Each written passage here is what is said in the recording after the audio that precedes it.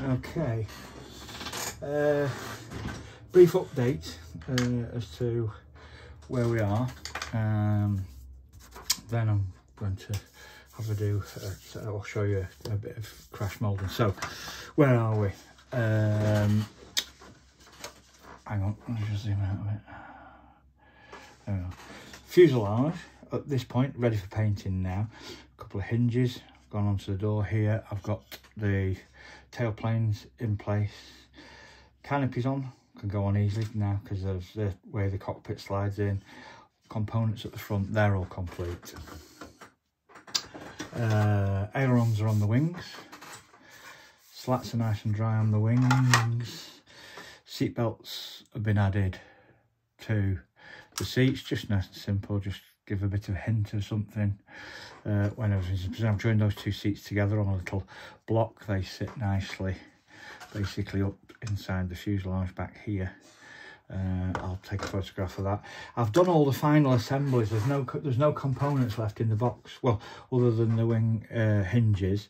Um, cowling has been assembled, ready for painting. I'm having the open cowling. Actually, saying there's no components left in the box. The kit very nicely comes with two cowlings, closed, open. So that's going in the spares box. But I'm going to use that actually for masking the engine perhaps or just general masking and then use the finished canopy cowling there sorry. Engine. So gearbox uh, and uh, other associated components like uh, ignition and timing components engine absolutely superb in this scale I don't know if you can see this close up I'll get close to the camera hollowed out exhaust pipes in the kit. Just generally really, really good rendition of a Wright 3350, I think it is, engine with the, um, oops, with the bits in place. Let me get the right way up. That's the right way up. So that'll be the top, so it goes there. Looks really nice. Really good rendition of an engine. That's ready for some care, some spraying and careful um, painting. Prop hub's done. So the prop hub there, nice big four blader, sits on the prop, runs off the prop hub. Blades have all been prepared. Undercarriage legs. Oh, no, it's not on there. Where did I put it? Rear undercarriage leg, quite a chunky assembly. Yeah. Ready to rock. And main gear, main undercarriage legs. Because I'm doing uh, a late version of um, an English Skyraider. Uh, it has blisters on the doors, canopy, uh, you know, clear blisters on the doors, and it has this full um, undercarriage door, shall we call it. On early versions, the windows are flat, I've read, and part of this component, the top part of this component, that bit, is actually attached to the wing. And there's a bigger there's a bigger fairing on the wing than there is on this aircraft. Brilliant, anything. Oh, uh, I showed you those yesterday. They're complete now, polished, finished, ready for painting with the new filler tips. So they look probably not exactly right. I, I actually looked at it and I'm not going to change it now. But if I took about two centimetres out of the middle, they'd be absolutely perfect for English drop tanks. But they're a little bit longer, but I don't mind it. It doesn't offend me uh, visually. I know it's not technically right, but I'm quite happy with the way it looks. Right, Okay, so the only remaining issue to be solved was the canopy glazing. Now, we know the, the, the Skyraider is a bubble canopy, a blistered canopy. Now, I thought I'd be clever and I thought I'd chop the back off the blistered canopy, which gave me this component, which is fine. Had I not cracked it in the process of working on it,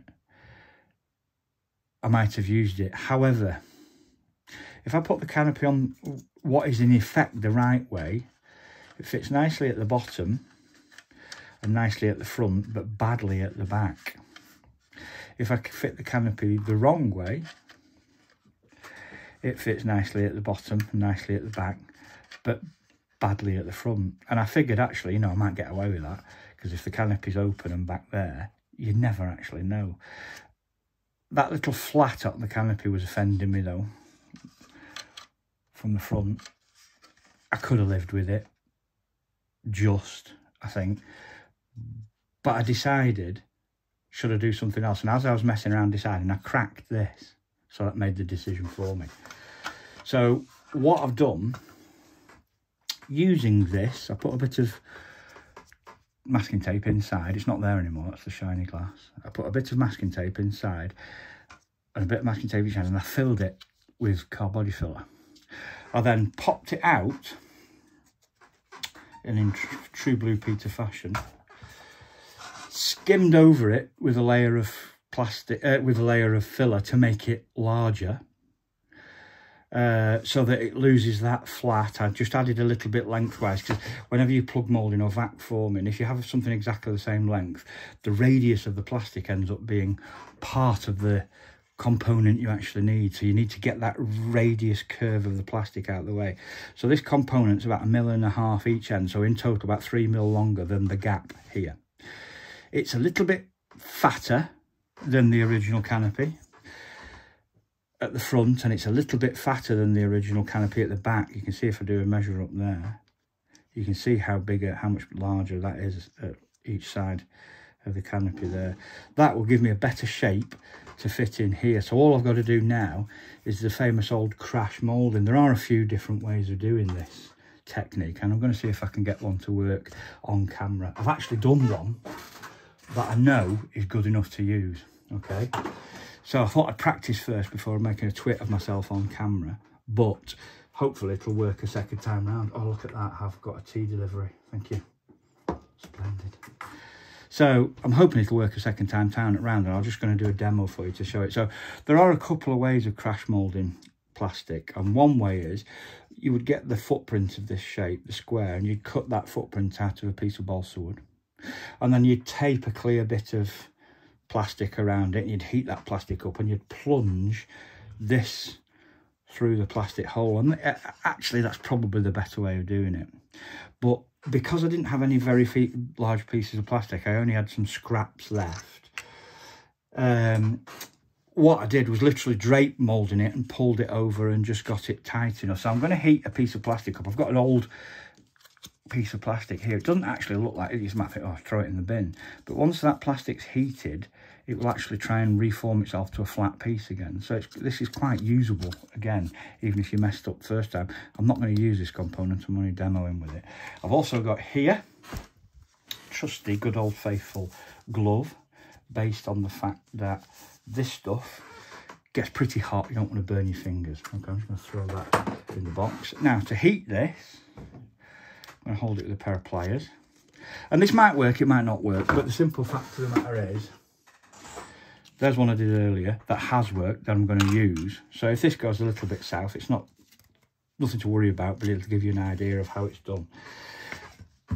I, I set a piece of wood into the canopy as I was making it to make it easy to hold to stand but also knowing that I needed to either mount it to something for drape moulding it or hold it for plunge moulding it. And as it happens I've just glued it to this block of balsa.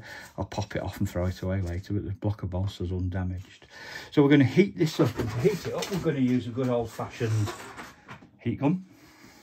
And I'm going to heat it up off screen so I don't accidentally melt anything in the background because that wouldn't be a very good idea. But you'll see as soon as I come back on screen with hot floppy plastic. I'm going to grab hold of it with my glove and I'm just going to pull that plastic over this component. Hopefully you'll see it work. If it doesn't, you know it does work because I've got one that I'm going to trim out. But as a demo, I'll see if I can do it for you on screen. So at the moment, I'm just heating it up.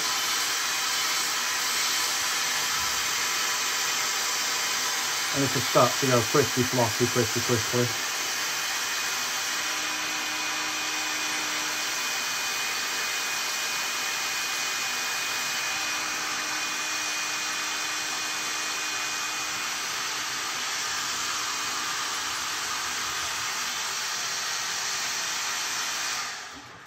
Piece of plastic that's gone as floppy as I think it needs to be. You hold it over the plastic there and I'm going to pull. And there we are. It's worked a treat. I'm make sure that the edges are all pushed down around. Once you've done it a few times, you end up with asbestos fingers. I can break that off there now, get rid of that block. But we can see now, with a few seconds work, we've got a perfectly usable canopy. This trimming all of this rubbish off here is very easy. This canopy I'll throw into my spares box in case I need to plug anything again. But now, take my glove off. I'm going to take the canopy off, out of here, pull it out. Come on, there we are. Canopy, perfectly reusable as a mould. It was polished, by the way, before I did anything to maintain that shiny finish. And there's a perfectly usable canopy, hidden within all of the rubbish that's surrounding it. Just drop that one. To pick up my good one and show you what I mean. I'm going to just trim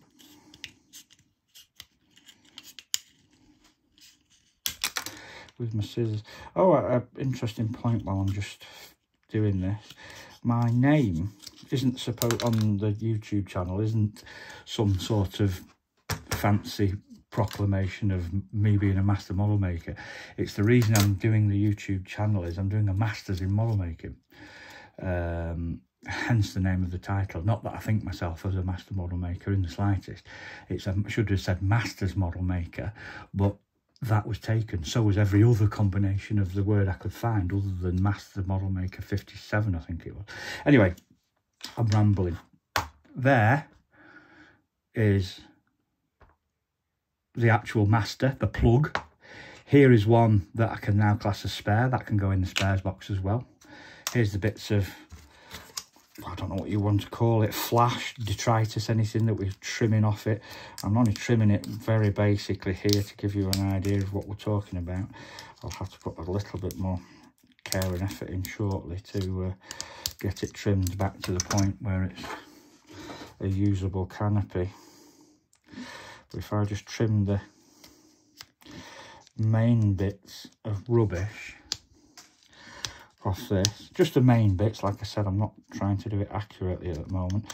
I'm just trying to demo its usefulness more than anything. And dispel some of the mess. It's, it's, it's surprising how many people build Airfix kits or build Tamiya kits or whatever, and that's not a disparagement. I love building Airfix and Tamiya kits. This is a trumpeter kit, but not ever consider stepping out of the comfort zone and modifying something or trying something. And as I said, I think in an earlier video, I certainly wouldn't crack into a £100 kit straight away. But you could do this to a 72nd or a 48 scale kit and learn exactly the same techniques. Now, we're not there yet, but we can see now, here's our new canopy that's getting closer to the right size. There's our old canopy, move it over here, that was actually no good, too small. You see the old canopy fits inside perfectly nice. It's obviously going to be too big when I fit it in place on the Skyraider here because I've not trimmed it down yet, but you'll get an idea. Can you see how it's going to fit quite nicely when I trim the ends off and get it into the right position. I'll come back, I'll show you a video of it trimmed and fitting in the right place because it will fit. It just, it, there's too much, uh, still too much material on the uh, in the plastic there. So, um, see if I can just trim a bit more.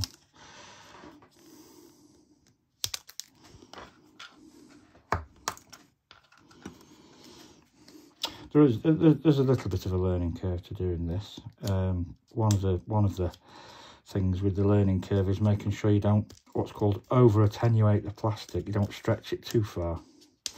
Because what's good, if you look at this, you can see where am I? Here we are.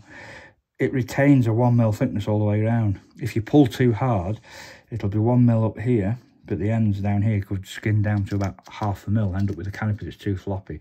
As you can see, that is a nice thick canopy for its size. It retains some strength in its form, which is a good thing. It matches the injection moulding that's there better. Me just do a quick offer up to this, see if I can get it close to fitting. It's, it is very close.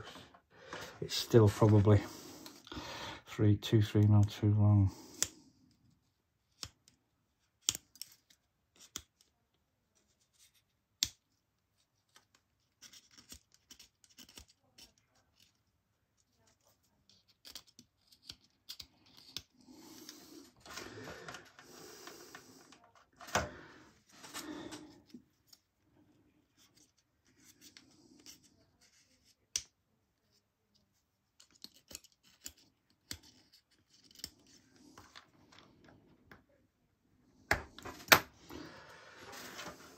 There we are. That's starting to fit nicely now. We see the difference now. This end this bottom will have a little flange put on it in a minute but that's starting to fit quite well. So I've got the new canopy there for the Skyraider that's based on an improved version of the old canopy that just doesn't really fit on any level at the back here. So I'm quite pleased with that. It needs finessing now and I'll go away and finesse it but it's getting pretty close to where I want it because ultimately the canopy is going to be open here anyway. So you can see into the cockpit. So we've got that nice where we can now got enough material to slide back. So hopefully that was of some use in terms of uh, perhaps you could call it a little tutorial a little demonstration it's not rocket science it really is pretty straightforward. I'd urge you just to have a go even if it little 70 second scale spitfire canopies things like that it's quite easy to mold no you know no difference in terms of uh, complexity uh, to mold arguably. They're easy you can use thinner materials you know but as long as you've got a little heat gun for canopies. If you're molding larger components you need you can use a proper or create your own proper vac form bed. It would be entirely feasible to create this component um, I could turn that into a vac form pattern by simply cutting it in half and then just basically putting you know some um, little bit of extra thickness on to take care of the radiuses. But it has a fairly natural cut line. Um, it would take a little bit of work to make it a vac form component. I'm not going to because i don't need to. I'm perfectly happy with it solid. But if i was producing it as a kit it could be vac form or it could be a resin casting. Anyway there's an unused one in case I mess up this one. There is my old one that's now going to go in the bin. And there is my pattern that I'm going to keep in case I ever do another one of these. Or in case I ever need a clear pattern, that shape. Don't know what that... Or even modified. I could modify that still. Carve into it, tweak it slightly. It's um, reminiscent of a few different aircraft canopies. A bit like a, a Malcolm Hood on a Mustang. Probably not quite as um, bulbous enough and got no idea if it's the right size of scale for 24th certainly be too big for 32nd but uh, it's there anyway as a piece of material. Enough from me. That's it